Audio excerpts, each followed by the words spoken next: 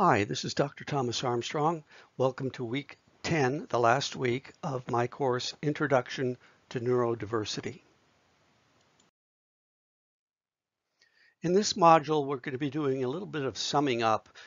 Well, actually, what I'm going to be doing is first taking a big picture look at neurodiversity, a macro view, and I'll, that'll be a very short part of the presentation. And then I want to really focus in on some micro and practical, pragmatic views of neurodiversity, particularly as pertains to special education. First, though, I'd like you to reflect on what you feel has been the most important thing you have learned in this course. You've written so many wonderful things, so many ideas have uh, been shared and, and discussed. What really struck you as the most important thing you've learned?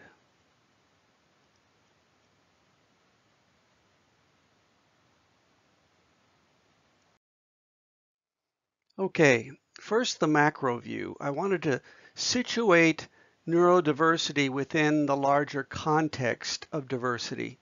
And I like this particular diagram, although it was missing biodiversity. And so I decided to put it in myself. And I put it in the center because it seems that biodiversity is really foundational. Um, it's really talking about the diversity of life, the foundation that allows us to have life and to have good lives. And that funnels into all uh, the different forms of diversity that exist among human beings in, in, as individuals or as groups. And looking at the different kinds of diversity, we can situate neurodiversity as one part of the disability paradigm, although there's a part of me that would like to make it a separate slice, so to speak. But then we need to relate it and understand that it is part and parcel with other forms of diversity. Sexual orientation, for example. There are a lot of connections between neurodiversity and the LGBTQ movement. Uh, religious diversity, honoring the different traditions and the different ideas that there are different paths to the truth. Gender diversity, something that uh, we think now of Ruth Bader Ginsburg, who's worked so tirelessly on behalf of women to give them legal equity in the culture. And age, being able to listen to our elders. In fact, to any stage of life. I've actually written a book called The Human Odyssey, and in that book, I suggest that every stage of life, and I have 12 stages of life, offers a particular gift to humanity. Elders offer us wisdom. Babies offer us vitality. Uh, early childhood offers us playfulness and so forth. And so being open and awake to the wonders and diversities of different ages can be a whole new way of appreciating diversity. Of course, race and ethnicity being a very important part and a very controversial part of our culture right now, with so much emphasis on, on the one hand, a, a racist approach to life, and the, on the other hand, an honoring of all races. Cultural diversity, very much the same thing, honoring different cultures for what they have to give us. And then finally, disability diversity. And when we look at all these different kinds of diversity, first of all, one of the things that struck me was they all have obstacles in their way, usually in the form of human attitudes. So with sexual orientation, that becomes homophobia. Uh, for gender, it becomes sexism. For age, it becomes ageism. For race, it becomes racism. For disability, it becomes ableism. The idea that if you uh, are normal, you would walk on the on the sidewalk and not need to use a wheelchair. That kind of, you know, approach, this sort of normal centric approach to life. So I just wanted to have in this summing up uh, presentation a kind of a big picture view to remind us that neurodiversity forms a part of a larger picture of diversity that we really are fighting for when we fight for neurodiversity. When we look at all of the other rights movements uh, for greater respect for LGBT, LGBTQ communities, for different religious traditions, for uh, men and women equity, for different age groups, for different races. We're really looking at the same kind of fight, which is really going into ourselves and developing an ethos of respect and regarding different diversities with a great deal of um, honor and integrity. So that's just what I wanted to say about the macro view of neurodiversity. Now I want to spend the rest of my presentation focusing on the micro view. In the readings this week, there was an article I wrote for Educational Leadership uh, where I focused on how neurodiversity suggests that we need to completely restructure our concept of what special education is. And I have a chart in there that looks at both the deficit-based and strength-based uh, components that should exist or have existed in special ed. So the focus in a deficit-based special education program is diversity, strength-based approach, excuse me, is disability, a strength-based approach is diversity. The assessment methods for deficit-based are testing for deficits, strength-based are assessing strengths and challenges. Instructional approaches for the deficit-based is remediating weaknesses, and for the strength-based is building on strengths and using those strengths to overcome challenges. Some of the theoretical foundations of traditional special education are uh, genetics and neurobiology, as well as I probably should add behaviorism. A strength-based approach relies more on findings from evolutionary psychobiology and social and ecological theory. The view of the brain in a deficit-based special education program is of a brain that's damaged, dysfunctional, and or disordered, whereas a strength-based approach is viewing that brain as part of natural human variation. The program goals of a traditional special education program are meeting instructional objectives. This is certainly a part of the strength-based approach, but the wider view is that ultimately we want to be helping to develop the potential of each individual within the special education system. And finally, the way we explain to students about their difference or their disability also differs. The deficit-based approach tends to take a learning to live with your disability kind of approach, whereas a strength-based approach involves more of a learning to maximize your strengths and minimize your weaknesses kind of approach. Now there's some formidable obstacles to change, to systemic change, the kind of systemic change that I suggested in this chart that we have to confront, that I did write about in that educational leadership article. Uh, one of the biggest challenges is the simple, pragmatic administrative need for a disability label. This is a chart showing the number of uh, rates, rather, the rates, the percentages of how many, uh, from year to year, how many nationally, uh, how many kids have been enrolled in special education. And then the blue line is how many people in Texas. And the article that this was taken from was basically an article that said, we're not finding enough special education students. We're under our quota. We should be um, finding more kids with special education uh, needs. So there's that push. Um, there's also that push in advocacy groups, um, whether it be dyslexia or autism. There are campaigns to raise awareness about the disabling features of each of these categories.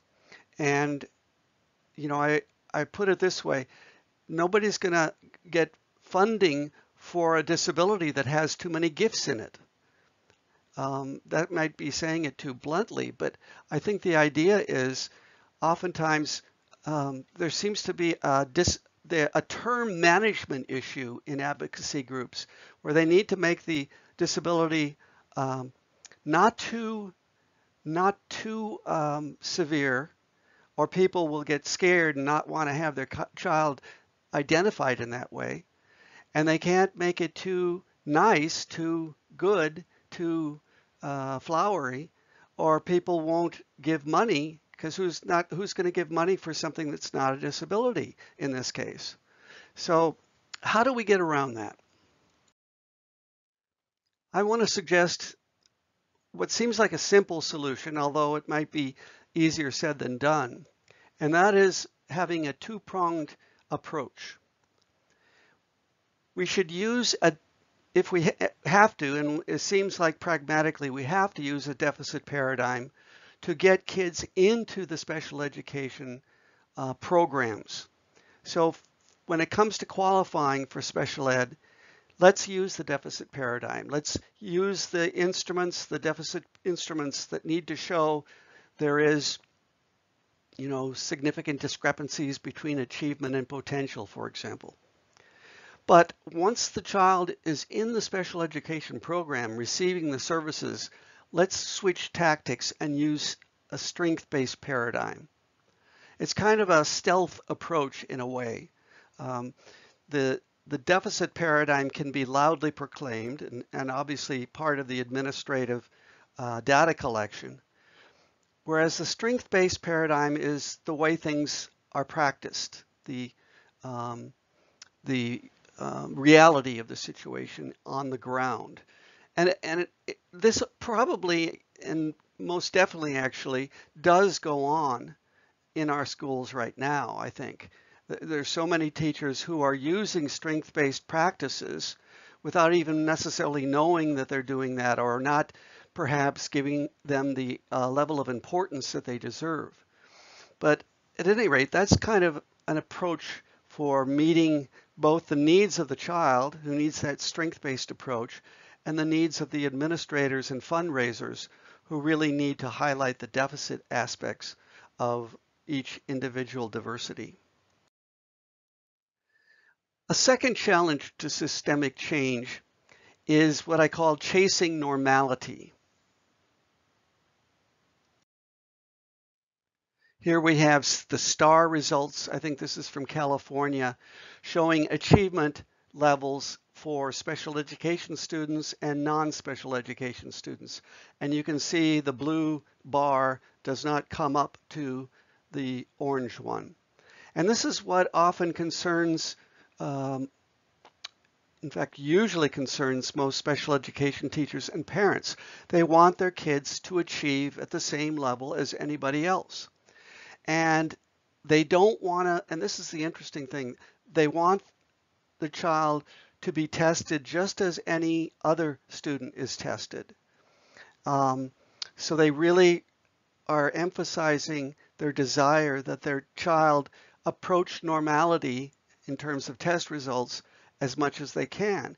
So this puts a lot of pressure on, on teachers. I mean, they're already pressures on teachers to improve test results for neurotypical kids. So for um, neurodiverse kids, who will many times have significant greater difficulty achieving those kinds of results. This puts on added pressure, which means that the special ed teacher is going to focus most of their time on helping to bring that child up to grade level or as close to grade level or, or to the testing normality rate as everyone else. Now the solution that I've worked out, and I've said this in different ways in the course, and I would like to say it one last time in a kind of a clear way, and that is that there's two kinds of successes that we should focus on when we're working with neurodiverse kids. The first I call adaptive success. This is helping kids adapt to the world around them. teaching the autistic child to socialize to some extent, to, to as much extent as they can, teaching the dyslexic to read, teaching the ADHD kid to attend um, and focus. So that's, you know, important that we give them those kind of skills. But it's also important that we give kids what I call integral success. And this is really what we're talking about with positive niche construction. It's changing the environment to meet the needs of the child so that child can grow according to their own gifts and according to their own terms. And ultimately, true success is a combination of the two. It's adaptive success plus integral su success equals 100% success. We know we've covered all our bases when we've helped the child to grow according to his own terms and we've also given them skills to make it easier for them to interact with the outside world or with the world uh, of neurotypicals.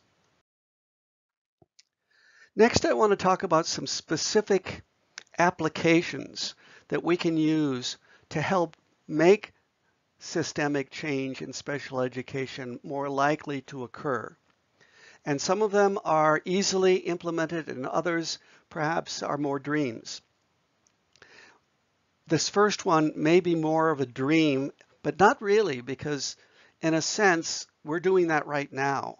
And that is the idea of creating a new role in a school district uh, or in an individual school. We've got resource room teachers, we've got co-teachers, we've got uh, support staff, and this would be uh, in that realm, but it would be explicitly related to neurodiversity.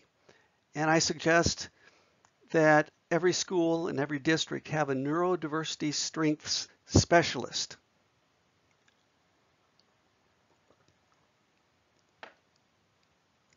Here are some of the qualifications that a neurodiversity strength specialist should have. First, they should be familiar with the strength-based literature. That's the literature that we looked at early in the course when we looked at Maslow and Steiner and Carl Jung and we looked at uh, uh, the positive psychology movement and so forth. So it's really understanding that literature, the broader literature, first, and then developing a familiarity with the literature on strengths in special education populations. And this, of course, subsumes the material that we've been reading in this course, including this article by Mottron, The Power of Autism. Another competency would be the ability to use a wide range of strength-based assessment tools. The Torrance tests of creative thinking, for example. The Devereux Student Strengths Assessment. The Behavioral and Emotional Rating Scale called the BERS by Michael Epstein. The Clifton Youth Strengths Explorer. There's even a book um, called Tools for Strength-Based Assessment and Evaluation. And I noticed that it has 218 pages. I collected that quite a while back, so I can't tell you a lot about it, except that the authors are Catherine A. Simmons and Peter Lehmann. So you might look for that as a resource. Also, the neurodiversity strength specialist would have the ability to look at existing deficit-based oriented uh, assessments and instruments and be able to interpret them in terms of strengths. For example, this is a uh, chart showing this, some subtests from the Wechsler Intelligence Scale for Children. And you can look at block design, which we've noted as an indicator of visual spatial intelligence, and picture completion being particularly um, and object assembly being particularly uh, emphasized in this profile of this student. So being able to read deficit-based instruments according to the strengths that they can reveal in their subtests. The neurodiversity strength specialist would also have a competence in using a variety of informal strength-based assessment approaches. That would include observation of kids, being able to catch students doing their strengths essentially, the ability to document what they see through photos, through uh, anecdotal uh, writing, through uh, audio files, video files, and so forth. Their ability to look over a student's cumulative files and find the strengths that are there. I used to actually do this when I was a consultant in New York State. I would go into a school district and ask them to give me the cum file for a, you know, a child they wanted uh, some information on in terms of multiple intelligences. And what I do is have a copy of the cum file and I go through it and I highlight with a yellow marker anything that had to do with strengths whether it be the highest test scores or grades or the uh, comments made by teachers. And then I would take all that yellow highlighted information and type it up together and hand it out during IEP meetings and other meetings about the student. And this would really make a change. All of a sudden, people would be looking at a strength-based profile. And this really had an effect. They began to think, well, now that you mention it, they do do this very well. And now that you point that out, yes, it's true, they do that. Uh, and they start to gather all their strength-based memories of this individual and they begin to essentially construct a new image of the child rather than the typical deficit one that seems to hover like a dark cloud over many IEP meetings. Uh, being able to consult with colleagues and get information from them, uh, other teachers uh, and, and other uh, support personnel about what they've observed in the strengths of a student. Consulting with parents, maybe sending home parents with a checklist, maybe with the neurodiversity skills checklist. And then having the ability to sit down with students and ask them about their strongest intelligences, for example, Michael Epstein, who developed the BERS that I just talked about, uh, has what he calls a strength chat for children. And these are just a series of questions that help to elicit uh, ideas that students have about their uh, strengths, about their abilities. Name two good things about your parents. What is your favorite hobby? Tell me about your classes. What's your favorite class? What do you like most about your friends? What's your favorite musician, sport, person? Uh, if I if you said one good thing about yourself, what would it be? Simple questions, but that can really uh, evoke from the child their own sense of uh, and perception of themselves as a gifted person, essentially.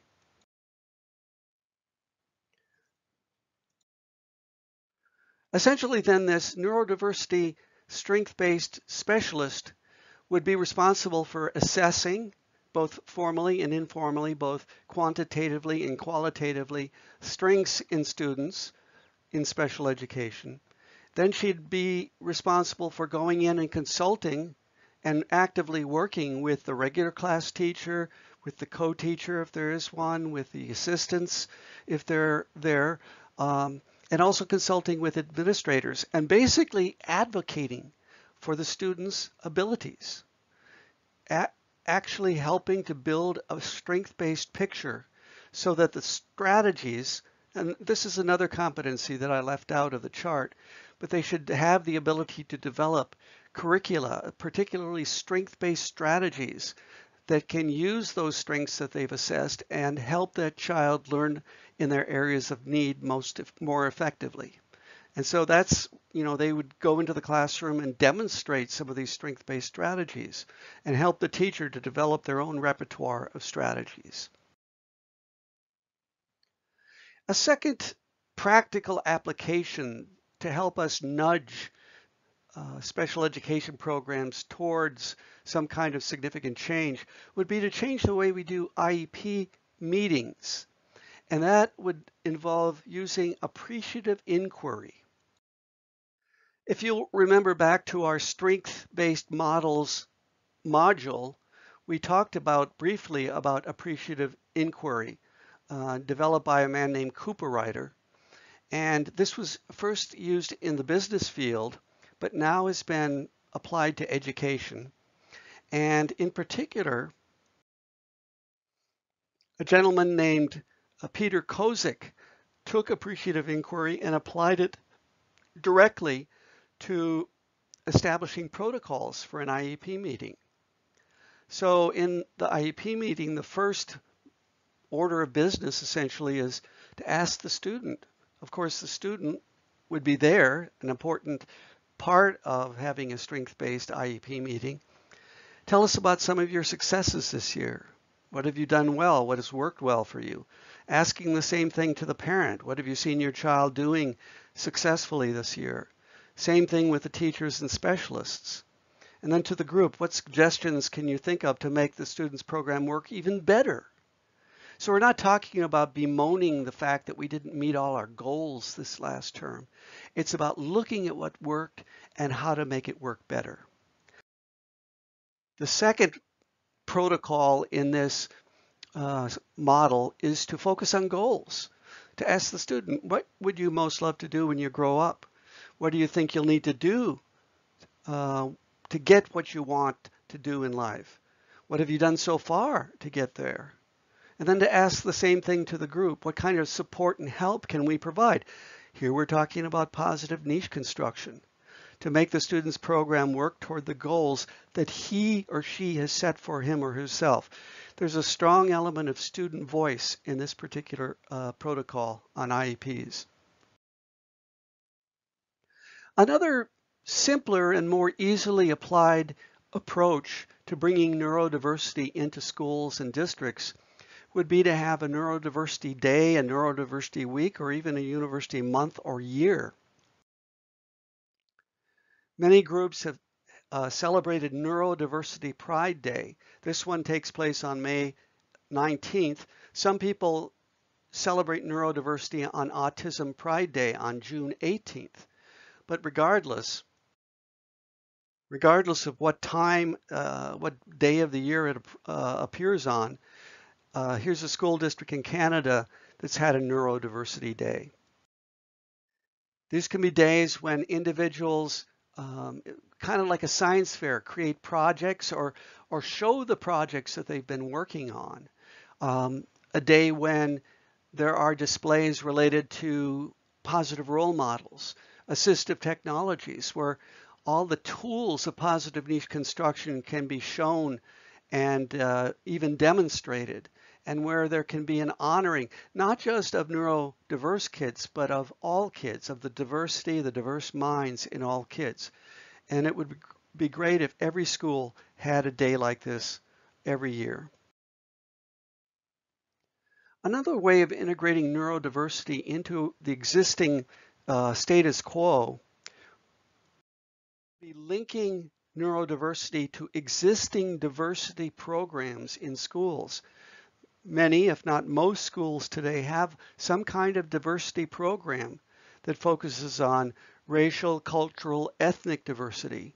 And we can use that as an opening to suggest other forms of diversity that be honored, including neurodiversity. We can also look, and very important that we do look at professional development. In particular, look at the inclusion component of professional development as an avenue for bringing in neurodiversity. We've talked about inclusion in different parts of this course, but it certainly bears repeating that if inclusion is to succeed in the regular classroom, then there has to be an understanding and an appreciation and a celebration of diversity and neurodiversity in particular.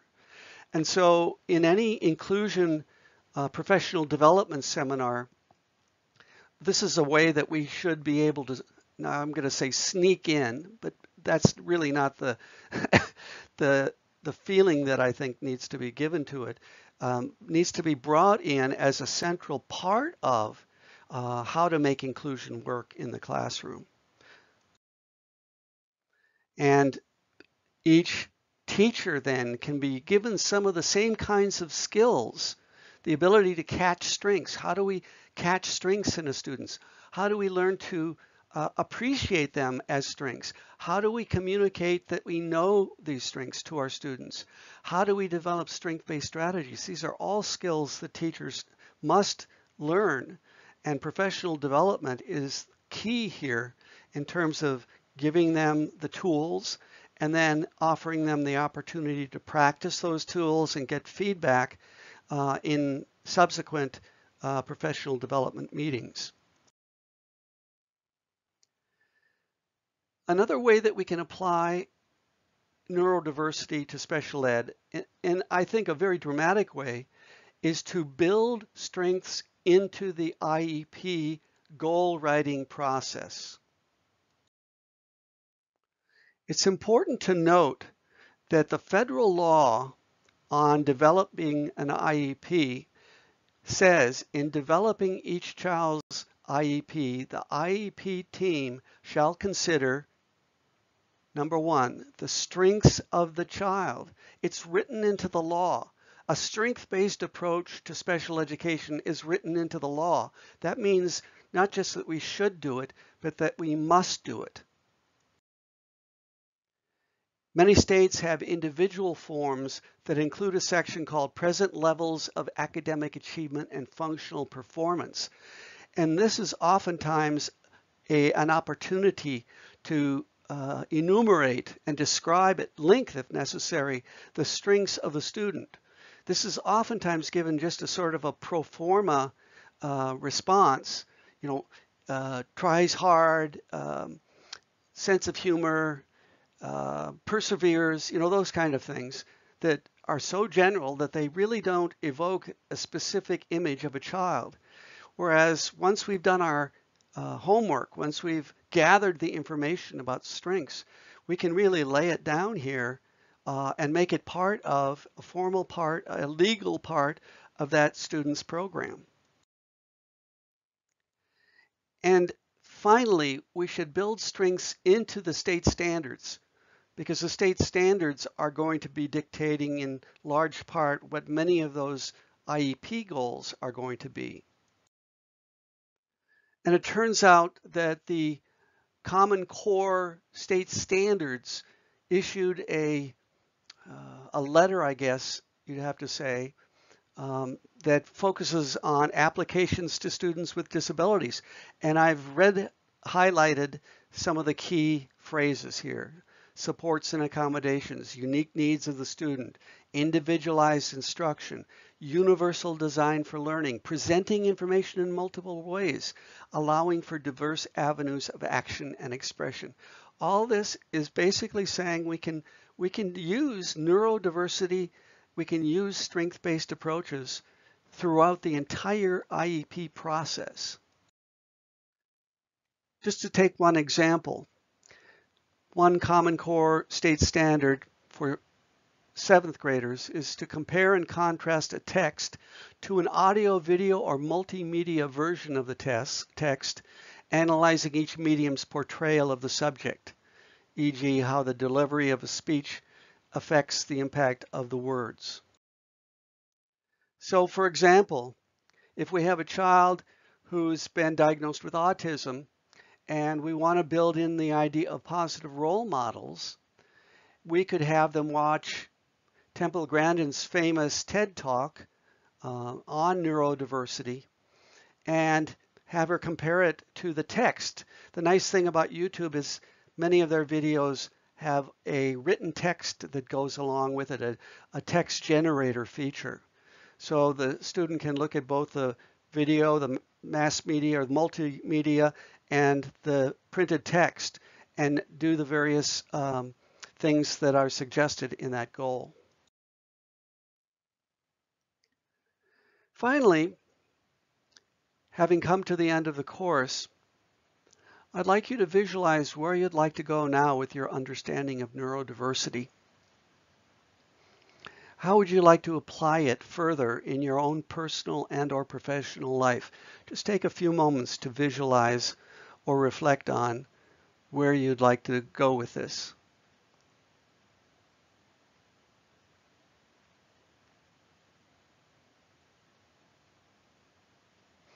Thanks so much for spending the last 10 weeks with me. You've been tremendous students. I've really enjoyed interacting with you and learning from your own experiences and background and your great ideas. It's enlivened me as a teacher, I hope as much as it has you.